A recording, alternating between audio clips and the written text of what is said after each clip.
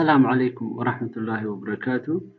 Videogii kan ka horeeyay waxaan soo aragnay qaabka loo calculate gareeyo mean-ka ama average-ka ama arithmetic mean-ka marka aynu haysano daato ku jirta frequency table laakiin waxaan nidhi frequency table-ka aynu soo aragnay wuxuu ahaa discrete. What about haddii daatadu ay ku jirto grouped frequency table?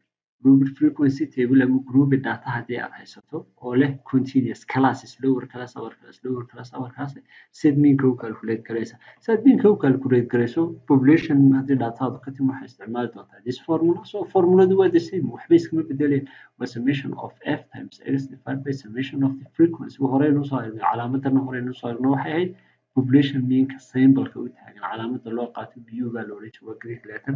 Haddii sample mean datadeenu ay tahayna daato ka timi sample data haddaynu haysanana sample mean baynu calculate gareyn doonaa soo sample-kaynu u qaadan doonaa bar buu noqon doonaa bar waxay noola noqon doontaa frequencies-ka oo lagu dhuftay x oo la isku geeyey kadibna total frequency-ga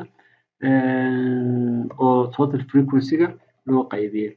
So halkan haddaba markaynu classes markay daateenu groups leedahay ama classes leedahay taqaanin x ma taqaanin because daatadeedu group waxay ka kooban tahay lower class iyo upper class lower class iyo upper class chapter two kusoo aragnay. Marka x waxaynu u qaadan doonaa midpoint of a class class kasta markaa group kasta midpoint-kiisa aynu calculate gareyn doonaa waxaa inoo soo baxa wuxuu inoo noqon doonaa x f na waxay u taagan tahay frequency-ga uu class-kaasi leeyahay. Well marka example sidiis aynu eegno example-kan waxaa the following table gives the frequency distribution of the number of orders received each day during the past 50 days at an office of a mail order company mail order company. So information-ki waa kan layna siiyey halkan waxaa layna siiyey halkan waxaa layna siiyey number of orderski for example toban ilaa labiyo toban order waxaa la helay maalmood yacni afar maalmood orderada la helay waxay ahaayeen toban ilaa labiyo toban marka group baa loo sameeyey okay labi iyo toban maalmood orderada la helay waxay ahaayeen labiyo toban saddex iyo toban order ilaa iyo shan iyo toban order afar iyo toban maalmood orderka kambanigaasi helay waxay ahaayeen fifty sixteen to eighteen marka waa kuwan kontonkii maalmood kontonkii maalmood summation of the frequency halkan laynoo soo sameeyey marka waxaa layidhi waxaad calculate gareysaa mean meanka calculate garee so si aynu meanka u calculate gareyno solution baynu qoran doonaa information-kan dib u soo qaadan doonaa kan waa orderski kana waa frequency-gii therefore information-ki waa kan solution six orderski baan halkan soo qaadanay halkana frequency-gi baan soo qaadanay inta marka la isku geeyo konton inay noo noqonaysana waynu naqaanaa sidaa darteed waa hal intan markaynu haysano horta waxaan waa group data. Waa group datadeenu waxay leedahay classes hadda discrete maaha waa continuous. Sidaa darteed formulada aynu ku helaynaa. Isma bedelayso waa inteedu waa summation of f times x divided by summation uh, summation of all frequencies. Hadda summation of all frequencies-ka waynu naqaanaa waa fifty. Uma baahnin ba inaynu calculate garayno f-na waynu naqaanaa halkan. F waynu naqaanaa frequency-ga waynu naqaanaa so this is the frequency. Summation-ku waa ta ugu dambeeya so this is the f. Waxaynan aqoonin hadda waxa weeye mushkiladu ka taaganta waa x. Sababtoo eega x kuwan maaha kuwan waa orderskii la helay. Marka waa toban ilaa labiyo toban saddex iyo toban ilaa shan iyo toban. Muxuu qaadanaya? Marka interval buu qaadanaya. Waa continuous frequency table. Continuous frequency table. So si aynu orderska u helo si aynu x u helo step number one waa inaynu horta marka hore x helno so x waxa weeye simply waa midpoint-ka x waxa weeye waa midpoint-ka class kasta muxuu leeyahay lower class iyo upper class. Labadooda isku gee for example classkan markaynu doonayno inaynu raadino x value-giisa muxuu lower class-kiisu waa ten kadib waxaanu u geynaynaa upper class-kiisa oo ah twelve markaan labadaa isku geyno waxaanu u qaybinaynaa labaynu u qaybinaynaa. So ten plus twelve divided by two markaynu ten iyo twelve isku geyno waa twenty two twenty two divided by two waxa weeye waa eleven so eleven halkaan dhigana so x value-geedu imika waa eleven classka ugu horreeya classka labaad markaynu joogno the same process baynu leenahay. Okay this class ama this group si aynu u raadino midpoint-kiisa waxaan leenahay lower class-kiisu waa thirteen.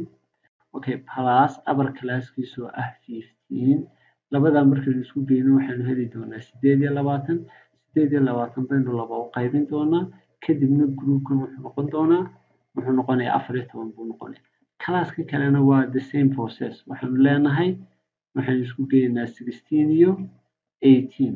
So sixteen plus eighteen labadan haddaynu isku geyno waxa weeye sorry halkan waa eighteen. So haddaynu labadan isku geyno waxa weeye waa thirty four thirty four divided by two waxa weeye waa seventeen weeye. Okay finally uh, nineteen plus twenty one waa forty. Forty divided by two isna waxa weeye waa twenty marka x valuegeed hadda way naqaan x value way naqaan marka marka groups hadduu leeyahay ama continuous frequency table haddii uu yahay oo classes leeyahay lower class upper class stepta ugu horeysa waxa weeye waa inaad la soo baxdo egasna la soo baxdo egasna waxaad la soo bixi kartaa adiga oo class kasta midpointkiisa soo saara which means adigoo labadan class isku geeya lower class iyo upper class isku geeya laba u qaybiya lower class mid ka hoose lower class upper class isku geeya laba u qayb hadda marka in this case fna waynu naqaanaa xna waynu naqaanaa formatkan maraynaa waa simba fna waynu naqaanaa xna waynu naqaanaa marka waa inaynu f iyo x maxay samaynaa isku dhufanaa okay marka waxaan leeyahay hadda waxaan reebayaa frequency oo lagu dhuftay valuega x okay therefore waxaan leenahay four times eleven labadan markaan isku dhufano waa forty four twelve times fourteen labadan markaan isku dhufano waa one six eight twenty times seventeen markaan labadan isku dhufano waa three forty uh, fourteen times twenty labadan markaan isku dhufano waa two eight hadda way nagaa isku wada dhufan f iyo f f iyo x waynu isku dhufanay next step waxa weeye halkan maxaa taala summation baa taala okay halkan waxaa taala summation. So marka waa inaynu soo saarnaa sum. Sum means waa inaynu isku soo wada geynaa waxaan isku dhufanay so waxaan aynu isku dhufanay si aynu isugu geyno okay this is the summation of this number that means intan oo nambaradan oo dhan baynu isku soo geynayna afartan number aynu isku soo geynaa so marka intan isku wada geyno dhammaantood waxaynu heli doonaa are all the numbers. Marka waxaynu heli doonaa inay noola mid tahay eight hundred and thirty two eight hundred and thirty two hadda markaa miinkeena markaynu calculate garno xagga sare way naqaanaa waa eight hundred and thirty two xagga hoose way naqaanaa waa fifty. So bar waxay noola mid tahay in this case eight hundred and thirty two divided by frequency-gii oo ah maxay fifty labadoodan aynu isku qaybin doonaa labadoodan markaan isku qaybino simply waxaynu heli doonaa maxay sixteen point seven okay sixteen point six almost seventeen baynu heli doonaa this this mail order company receives an average of 16 or almost an average of almost 17 orders per day during this 50 days kunta kan maalmood ee la qaatay sambarka loo qaatay kambanigan wuxuu muxuu ahaye mail order helayay maalin kasta. Yani celcelis ahaan ilaa toddoba iyo toban jeer ayuu order helay mail order uu kambanigan helay. Marka haddii dhaataadu ay tahay dhaato ku jirta frequency table particularly continuous frequency table oo lagu dhahdo miinka calculate kale qaabkan aad u calculate garaysa step number one waa inaad heshaa egas egasna waa midboodka uu class kasta ama group kasta leeyahay. Marka egas iyo f baad isku dhufan doonta markaad isku dhufato waad isku geyn doonta waxa kaaga soo baxa halkaas ayaa waxaad u qaybin doontaa total frequencies-ka